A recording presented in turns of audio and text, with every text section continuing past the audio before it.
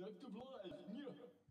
Kia ora and welcome to the Radioactive 88.6 Orcon live room. Today we are joined by Myele Manzanza. How are you doing? Good afternoon. I'm good. I'm good. Thanks for having us. Fantastic. We're so blessed to have you here. So would you like to just do a quick intro for the listeners out there? Who have we got in the room? For sure. So on the bass, we have the one and only Johnny Lawrence. And on the keys, we have the one and only Leonardo Cogini, and then myself on the drums. On the drums, the one and only again, Myele Manzanza. For those of you out there, you can go to our Facebook page, radioactive.fm, and live stream this on Facebook. You can see all the action for yourself right from home. Mm. I have to say, um, the lighting guy has done a pretty got a pretty nice setup in here. So Oh, if you shout out can, to Jesse. We yeah. love you. so if you can get on the live stream, it might be a nice sort of full sensory You get the experience full on experience there. if you can see it, definitely. So we're here to talk about your new album. It was released on January, June, June 28th, not Mhm. January. hmm So I think, um, without getting too much into it straight away, we should just hear a song. For sure. Okay, well, um, let's start off with the track that starts off the album. This is a piece called. Ritual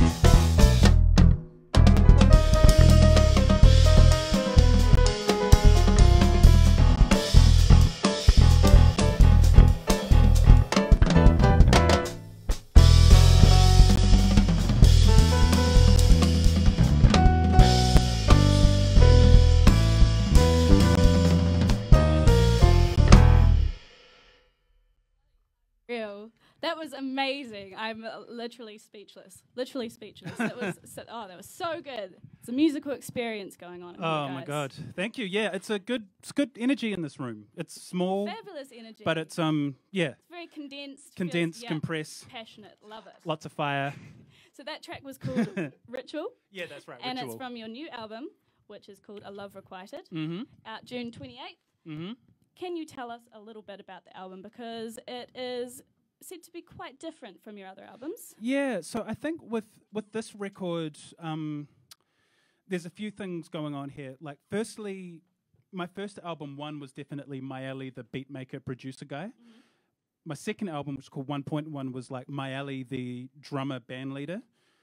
A Love Requited, if anything, is really Myele, the composer. I mean, and yes, there is drumming, and yes, there is this influence of hip hop and electronic music that sort of seeps in there, but Mhm. it's like really um, a lot more effort was given to the actual writing and the composition, and also, I guess, trying to find some sense of meaning within the process of writing the Right. music beyond just mere um, here's good music played by good musicians, if you know what I mean. Yeah. So with a piece like Ritual, is um, there's a there's a deliberate kind of aggressiveness, a deliberate kind of um, discordant energy in there, a deliberate kind of um, Very punchy. yeah, and there's a sort of like like it harmonically, it's pretty simple. It sort of stays on E minor the whole way, but with that just staying in one place, there's room for real sorts of energy and friction and kind of um the the burning fire type thing to kind of occur there. And and that that was like a deliberate choice because there was something in the in the scheme of the whole album I wanted to convey this sense of like darkness and, and anger really. Like this sense of like really inward looking anger. Look at all this raw like stuff that I do not like about myself and I'm angry about it. And it's just like the piece in a sense is like a way of expressing that um, trying to be as honest as I can with the sense that like there there's a, there are these dark parts that I have and that we all have that we may not be that comfortable with, but really just sort of leaning into into that energy and um, using that using the music as a constructive way to kind of um, voice that and work through that. And across the course of the album, it's like there's like this range of sort of um, deliberate emotional choices or pieces which might be a bit more about family or about struggles around relationships or struggles around like my, my even my decision to be a musician as a as a career and like my relationship to that um, career choice and that sort of sense of self identity around what being a a musician very is. Deeply emotional, personal, creative work. Yeah, yeah, it's a it's very much a um an internal inward work as opposed to say like a political album. Like this album not not that I'm avoiding politics, but for this album I'm explicitly focused on an internal uh, accounting of the soul, I guess. Yeah. And um Reflective, very self-reflective. I feel like that can bring out the best in people. yeah, I think so. I think so. the yeah. best in your music. And you uh, mentioned that this is the uh, first album as a composer. Well, Well, it's not it, it's not the first album as a composer, but it's the first one where I'm. That's the real focus, and probably Yeah. took more time with the writing and the arranging and um, thinking about the structure of the album as a as a whole, as opposed to here's a dope tune, here's a dope tune, here's a dope tune, here's ten dope tunes. awesome. kind of thing. Can you paint us a little picture of what your composition process is like when Uh, you're writing music? Um, well, I guess Yeah. like it was it was mostly it was very piano driven. So um, a lot of the music started with me just actually getting away from the drums and just sitting at a piano. And my my piano skills aren't very good. Like Leo would burn me by a million miles. and and my knowledge of theory isn't really all that hot either. But in a way, and and um, Johnny and uh, Leo, you can chip in here if you like. I think that because I don't have this deep sense of theory in my knowledge base when it comes to writing music, I'm just sort of like, here's a sound, I like the sound. If I go from this sound to the next sound, that feels intuitively right, so I'm going to do that, as opposed to music theory dictates I should move to the from the two Right. to the five to the or whatever, you know. So I don't my my Yeah. skills around the actual theory behind my stuff isn't that hot, but I like to think that it means that I just sort of go from this intuitive sense of like, I like this sound, then I like that sound. And it sort of gradually, slowly but surely hacks away into something which is somewhat my own, if, even though I'm drawing from lots of influences, obviously. Awesome. Yeah. Very much love that. And it's co produced by Ross McHenry. Yeah, that's right. So Ross McHenry, he's a fantastic um, bass player, composer in his own right, who's based out of Adelaide in Australia, and um, I've been working with him on several projects over the last decade, really. And um, he he was really good in the sense of like. Like he was a good like sort of executive producer in terms of like here are the logistics. Uh, he's here's the group of musicians that we want to work with. Um, where can we get money to kind of put it all together, as well as like when we're in the studio, kind of thinking like, okay, what is the sound that we're going for? What are the references? Uh, what sort of microphones do we need to use? What sort of instrumentation do we need to use to sort of get to this goal of what the album was? So he was really great in that sense of someone who, whilst it was my essentially my vision, he was really good at like, okay, here's the steps that we need to do to execute that and um, bring it all together. So he was a really fantastic partner in crime to work He with. he does sound like, yeah, very good person to work with. yeah. So A Love Requited. Mm-hmm. Have you got another track for us? Yes, we do. Um, so this next piece is called Itaru's Phone Booth, and um, let, let's play it, and then I'll, I'll give you the, the story behind it. Sounds um, good. Afterwards, but yeah, Sounds good. Itaru's Phone Booth.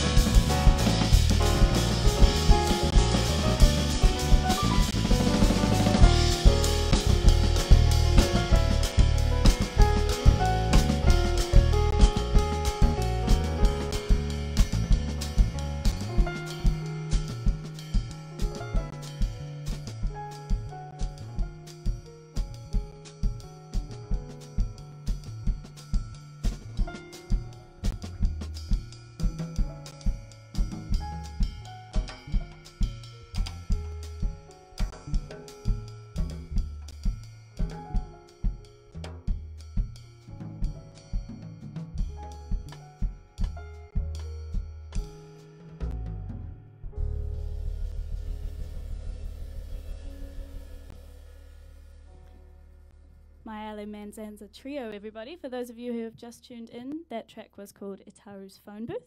Thank you. You Oh, yeah, a I didn't little, tell you you the story, story right? Yeah, I about, got the about the story. phone booth. Yeah, okay, yeah. so um, there was this episode of a really fairly popular podcast called This American Life, which I was listening to on a as I do, and um, there was a story about this guy called Itaru who lived in a village in Japan, and he had this phone booth, which he just built on his um, property as a place to go and have a conversation, um, so to speak, with. Uh, off memory, I think it might have been his deceased wife or something like that. It was just this nice space where he would go and sort of have, you know, exposes, you know, or just pretend to talk to, or, you know, pretend, you know, who am I to say? But he had this, this place to go and sort of memorialize his wife.